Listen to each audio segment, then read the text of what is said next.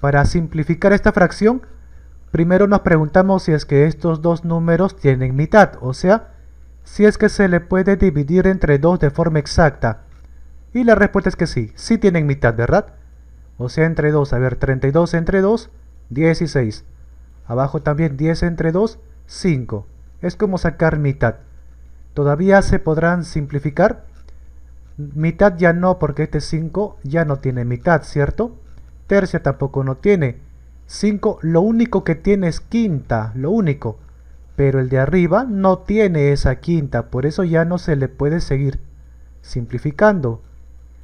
Respuesta 16 quintos queda.